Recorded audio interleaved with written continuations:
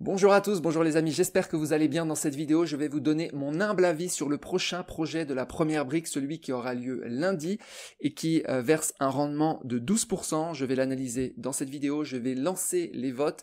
Euh, on va en discuter sur le club Lower Sky, on en a déjà discuté, il y a déjà des avis divergents et c'est bien d'avoir plusieurs avis, il n'y a pas de souci. Moi je donne uniquement mon humble avis sur, euh, sur ce projet. Si vous ne connaissez pas la première brique, c'est une boîte de crowdfunding immobilier qui, euh, en France, qui, euh, qui fait des projets en France et qui verse des intérêts qui sont en général assez juteux puisque là on est sur du 12% plus 1,1% si vous passez par le lien en description que vous mettez le code MBS au moment de l'achat, ça vous, ça vous apporte 1,1% supplémentaire.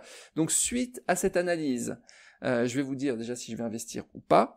Et puis, euh, eh bien, on verra les. Euh, je vais lancer les votes. Donc, on verra. On a déjà fait. J'ai déjà analysé beaucoup de projets. Donc, on verra quelles sont les intentions d'investissement, puisque, eh bien, vous pouvez avoir un avis qui est différent du mien, et c'est bien. Et il n'y a aucun souci avec ça, surtout sur ce projet, puisque ce projet est un petit peu compliqué, donc je ne suis pas étonné qu'il y ait des avis différents.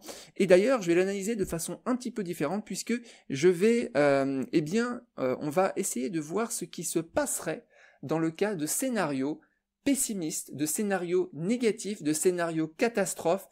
On va voir jusqu'à quand en fait ce projet est viable. Donc, euh, donc voilà. Alors c'est parti. Donc ce projet, projet plus complexe que d'habitude analyser, vous allez comprendre pourquoi. Euh, donc on achète déjà un ensemble immobilier sur une parcelle de 11 000 mètres carrés.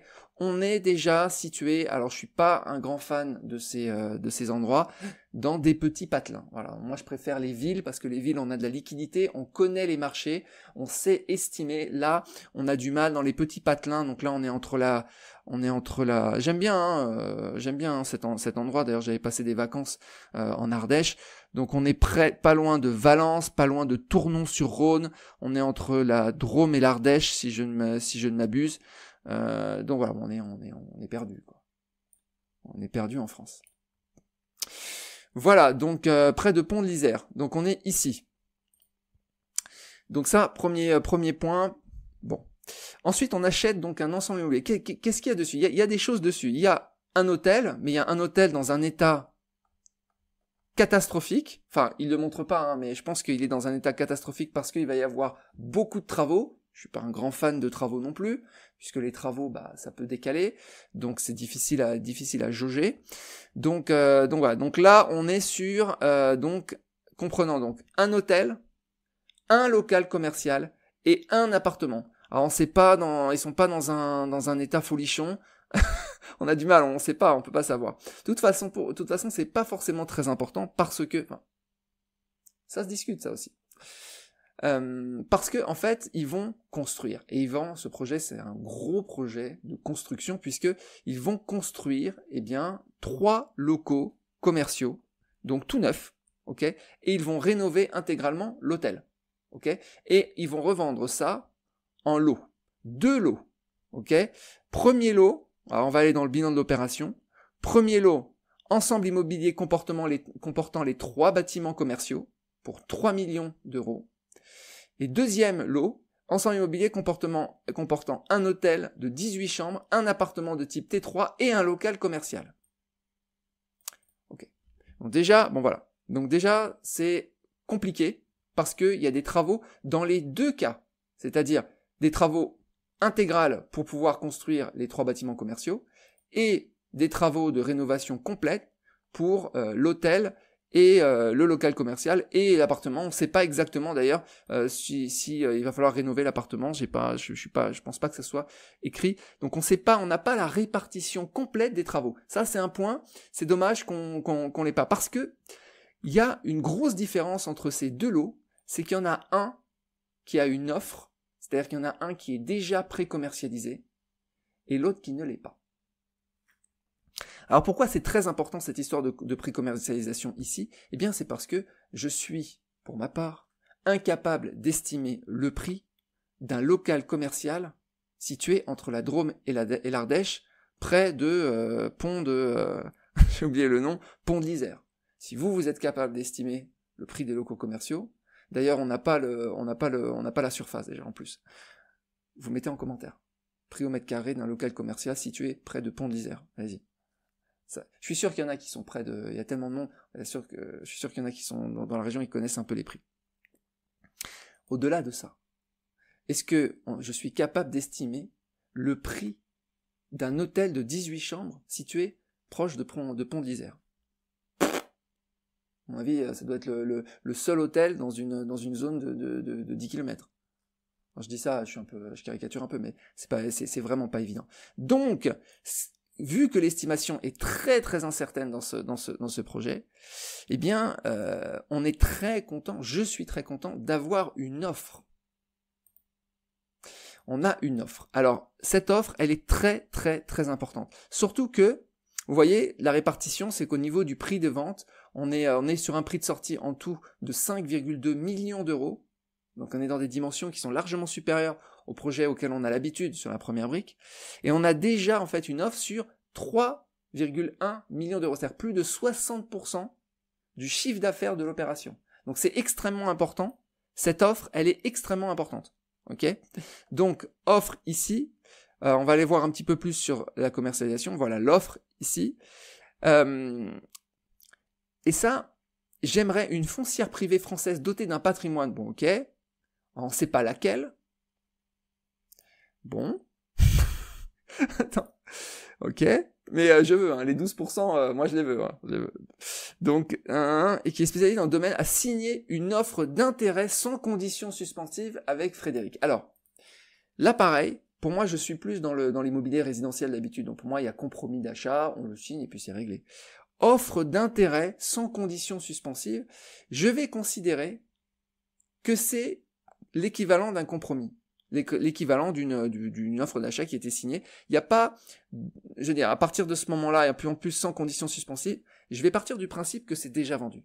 Parce que je ne sais pas si une offre d'intérêt, je ne sais pas si le marchand de biens, Frédéric, doit valider ou approuver cette offre, ou s'il est encore en recherche d'autres offres, etc. Mais je vais considérer qu'il a cette offre sous la main, qu'il peut la signer quand il veut, ou euh, et que et que c'est considéré comme vendu. Parce que si c'est pas le cas, je vous cache pas que ce projet il aura moins d'intérêt pour moi.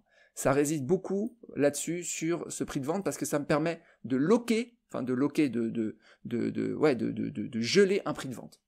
Voilà. Et d'être sûr en fait qu'il va y avoir 3 millions d'euros qui tombent. Parce que ces 3 millions d'euros, ils vont permettre de revendre, de, de, de payer nos intérêts. Alors nos intérêts, c'est combien? C'est pas beaucoup c'est pas beaucoup.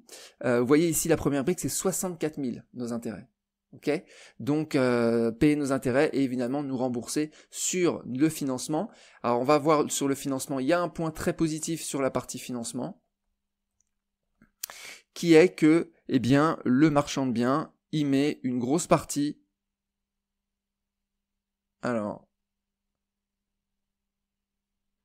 Voilà, c'est ici. Nous, on met 443 000. Nous, c'est le crowdfunding immobilier. On met 443 000, alors que le marchand de biens, lui, il met 550 000 euros. Ok, donc il est vraiment partie prenante. Ça, c'est un point très très positif. Le marchand de biens, lui, il a aussi un gros historique. Je vais pas trop trop revenir là-dessus, mais on va avoir besoin en fait de cette de cette vente pour nous rembourser sur un projet. Je vous le rappelle. Et, là, on va commencer à discuter, discuter des scénarios pessimistes. C'est que euh, bah, c'est un projet qui va durer calendrier qui va durer... Euh... Alors, et donc j'ai du mal aujourd'hui. Hein. Investissement. Calendrier, c'est ici. Calendrier du projet. Donc on est ici, moi je fais cette vidéo le 29 juillet, on est en août. Achat du foncier août, donc ça c'est bon, il a déjà les, euh, le, le, le, euh, le, acheter le foncier, il a déjà, euh, ça c'est déjà fait. Revendre des locaux d'activité fin 2022, c'est-à-dire dans 5 mois. On est c'est censé être un projet sur 5 mois. Mais attention, Remboursement maximal, ça peut aller jusqu'à fin 2023. Et là, c'est plus 5 mois, ça fait 5 mois plus 1 an. Donc ça fait un an et demi. Parce que 5 mois, bah, c'est chaud. Même si c'est vendu en, état futur d'achèvement, même s'il y a un, acheteur, le reste, euh, est-ce, qu'on va pouvoir avoir les, les travaux finis de l'hôtel dans 5 mois? Non, impossible. Donc ça, c'est un petit peu chaud. Alors, on a une marge de combien? On a une marge de 17%, voilà, ici.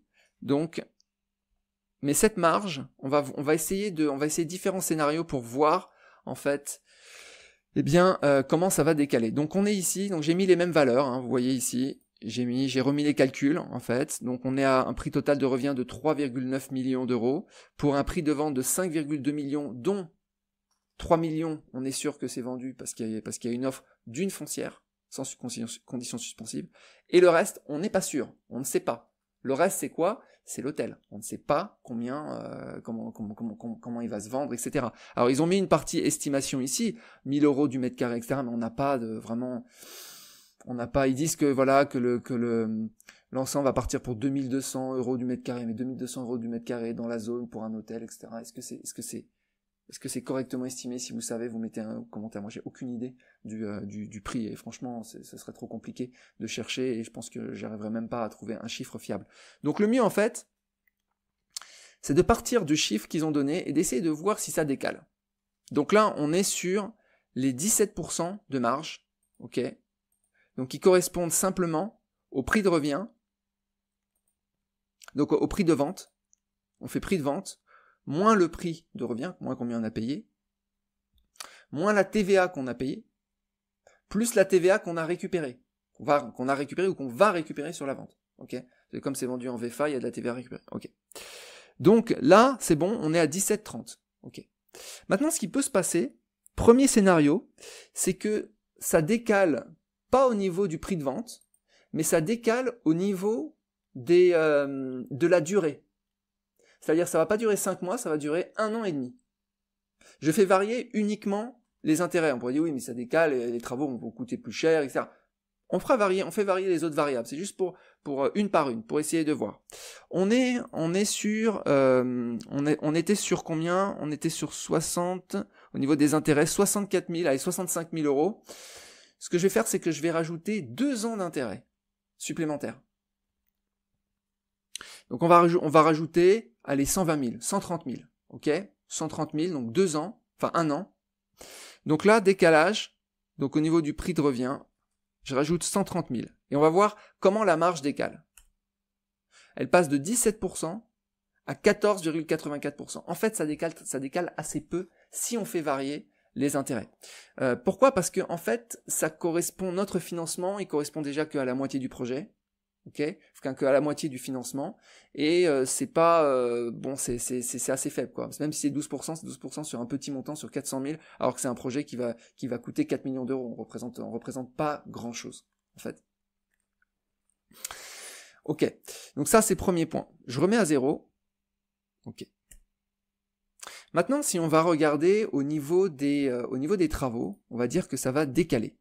Alors là, par contre, les travaux, vous voyez, hein, c'est ce qui coûte le plus cher dans ce projet. On est à 2,7 millions d'euros pour les travaux, alors que le foncier, lui, il coûte 780 000. Au passage, je fais une petite digression, c'est que ici on a une garantie euh, hypothécaire euh, spéciale, euh, donc je considère que c'est comme une hypothèque de premier rang. Elle est ici, donc elle est ici, elle est ici. Donc on a on a une hypothèque qui est pas mal, mais qui est qui porte en fait sur un foncier qui vaut pas cher parce qu'on n'a pas encore construit l'hôtel, etc. Donc, euh, elle va s'apprécier au fur et à mesure. Donc c'est pas non plus, euh, c'est pas non plus top top. Il y a aussi une garantie personnelle, mais j'aime pas. Vous savez, vous me connaissez un petit peu, j'aime pas trop les garanties personnelles parce que on sait pas le marchand de biens combien il a de garanties personnelles. Peut-être qu'il en a 50 qui tournent. Il y a aucune visibilité, il y a aucune unicité au niveau euh, comme on peut l'avoir sur une hypothèque. ici c'est une hypothèque spéciale, donc hypothèque de, de premier rang. Donc voilà, y a pas, j'ai pas de contrôle là-dessus. Ok? Donc j'aime moyennement. Donc au niveau des, au niveau des garanties, c'est très moyen très moyen puisque euh, puisque tout le projet il réside quand même dans des euh, dans des travaux. Donc 2,7 millions. Mettons que ces travaux, eux, ils décalent en prix, c'est-à-dire que c'est pas 2,7 millions, mais ils décalent de 10%. Ne serait-ce que de 10%, ça fait 270 000. Donc on revient ici. 10% de décalage sur des travaux, c'est pas, euh, c'est pas, c'est pas, c'est pas c'est pas étrange, hein, surtout sur des gros travaux comme ça. On sent que j'aime pas les travaux. Donc je mets 270 000 ici. Vous voyez que la marge, rien que là-dessus, la marge, elle passe de 17 à 12. Ok? Maintenant, je vais faire décaler les travaux de 20%. C'est beaucoup, hein. Ça veut dire qu'il a, il, s'est bien planté. enfin, il s'est bien planté. Il s'est planté. C'est pas bien planté. C'est juste planté correctement comme on peut se planter. Vous faites des travaux chez vous, moi j'ai fait des travaux, ça m'est arrivé de me planter de 20%. On rajoute des trucs, etc. Là on est en train quand même de construire trois, trois locaux commerciaux, déjà vendus certes, mais quand même ça va coûter de l'argent de, ça va coûter de l'argent de les, de, les, de les construire, plus un hôtel. Si je mets 20%, on passe à 7. Ok?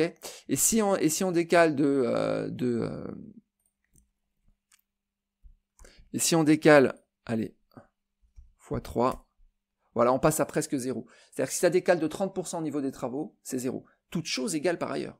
Attention, j'ai pas fait, j'ai pas fait décaler aussi les intérêts, mais en réalité, euh, si je fais décaler les travaux, je vais faire décaler les intérêts puisque ça va, ça va se décaler dans le temps. C'est-à-dire que même si je fais décaler, par exemple, de, de 10%, on va dire de 10%, plus on rajoute les 120, les 120 cas, c'est-à-dire qu'on passe de 5 mois à, à 1 an et demi, puisque euh, maximum c'est un, an et demi, hein, c'est ce qu'ils ont dit, c'est ce qui était écrit, il avait écrit fin, fin 2023, on passe de 17 à 9,82%. Ok? Donc ça, c'est des variations sur le prix de revient. Ok, pas de problème. Donc on voit quand même que ça peut bouger. Donc là, je suis assez euh, donc conclusion là-dessus. Ça peut bouger, mais ça reste euh, bon voilà. Faut vraiment que ça décale de de de, de 20%, 30%, de 30% pour que vraiment vraiment qu'il soit complètement planté pour que ça bon pour que ça décale. Retenez ce chiffre, là, 390 000, je le remettrai juste après. L'autre, l'autre élément où il s'est peut-être planté, on s'est peut-être planté dans l'histoire, c'est sur le prix de vente. Alors, de combien on peut décaler sur le prix de vente? Toutes choses égales par ailleurs, vous voyez, j'ai remis, j'ai remis zéro ici. Bah, euh, il y a un prix de vente à 528 000. Alors là, je vais, euh, qu'est-ce qu'on va, ce qu'on va dire, c'est qu'on va dire qu'on s'est planté de 10% sur un prix de vente. C'est pas incohérent. Je vais, euh, ce qu'on va faire, on va faire, on va faire deux choses. On va dire qu'il y en a un qui a déjà été vendu. Le celui de 3 millions, on va dire qu'il est loqué. Vous voyez, il y a une offre, donc celui-là, on va pas le bouger. On, va, on, pourra, le, on pourra le bouger. On va dire que après, on va dire que l'offre, elle est complètement, c'est complètement plantée. On va voir, on va voir quand même les, différents scénarios. Scénario catastrophe. On va dire que c'est juste celui-là, le 2 180 000. Donc celui-là, on va dire qu'il décale donc le prix de, de, l'hôtel. Il décale Prix de vente, donc tout s'est bien passé là, les travaux se sont bien passés, tout s'est passé dans les temps, nickel. Prix de vente, on décale donc de, on fait varier donc de 10%, donc 2 180 000, ça veut dire, allez, presque 220 000, donc 220 000. Prix de vente, alors je vais, ah, je vais le mettre comme ça. Ah, j'ai mis en pourcentage là. Je vais, je vais le faire. Ah, c'est pas grave, on va faire à peu près. Je vais faire un décalage donc euh, donc euh, de, de, de, de, 10% sur les sur les 200 000 etc. Bon, je mets à peu près 4% ici. Ça fait à peu près. Donc là, 10% sur le deuxième, donc on est, on passe à 13%, donc c'est très très significatif. Et si je passe donc là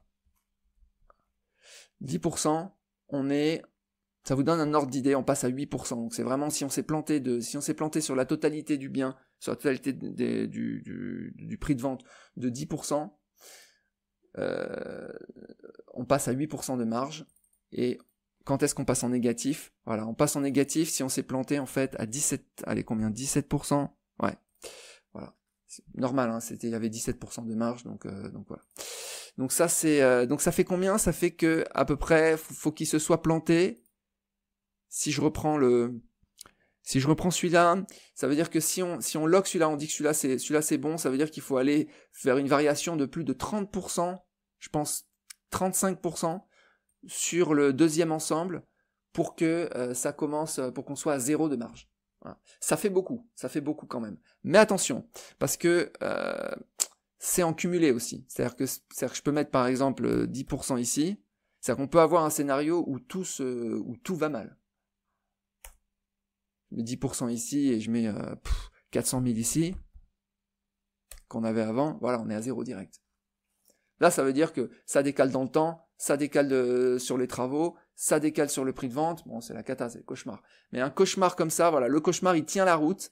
Il tient la route, c'est on continue de toucher nos, euh, nos intérêts sur euh, à peu près sur un sur un gros sur ce type de décalage. Voilà, donc faut quand même y aller. Hein. Faut quand même qu'il se soit bien bien bien planté. Euh, pour que euh, pour que pour que vraiment on commence à perdre de l'argent ou, ou être vraiment break even, c'est-à-dire vraiment limite limite. Voilà, alors bien sûr, hein, c'est des scénarios, hein. il, y aurait, y probablement des choses à revoir, euh, vous avez probablement fait des scénarios différents, venez en discuter sur le club ou mettez en commentaire sur, euh, sur la vidéo. Euh, Qu'est-ce qu'on peut ajouter? On peut ajouter sur l'urbanisme, donc ils ont déjà l'autorisation et permis de construire sur l'hôtel, donc là il n'y a pas de, il y a pas de, et le droit de revendre les, de revendre les lots séparément, donc là il n'y a pas de, il n'y a pas de problème là-dessus. Voilà, euh, c'est tout. Alors de l'un dans l'autre, de l'un dans l'autre, de l'un dans l'autre. Euh, moi, je vais quand même, je vais quand même mettre un petit billet dessus parce que c'est quand même 12%. Il y a plus de risques que sur les projets euh, classiques, hein, clairement. Euh, ça, il n'y a pas photo. Euh, même vous voyez l'analyse comment elle elle est vraiment plus complexe. Euh, elle est plus, euh, c'est plus, plus subjectif aussi. Puis il y a pas mal d'incertitudes au niveau des, au niveau des prix. Je vous cache pas que des fois, souvent, j'essaie de me dire, ok, élimine certains paramètres pour voir si tu continues d'investir. Pour moi, s'il n'y avait pas eu euh, l'offre de la foncière qui rachète donc plus de 3 millions d'euros, c'est-à-dire 61% en fait pré-commercialisé. S'il n'y avait pas eu la foncière là-dessus, euh, je pense que je n'y serais pas allé. Voilà, pour tout vous dire. Euh, mais avec la foncière, et la garantie, je vous montre la garantie, euh, garantie de premier, euh, garantie hypothèque légale spéciale.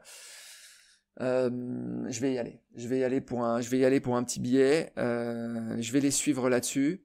Et euh, ça fait plaisir aussi de voir, je vous cache pas, de voir des, des projets plus complexes, ok, euh, plus difficile, plus difficile à, à analyser.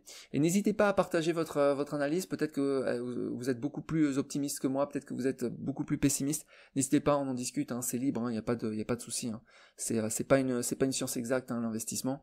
Donc donc voilà. Bah c'est tout les amis. Je vous souhaite une excellente journée et je vous dis à bientôt. Ciao.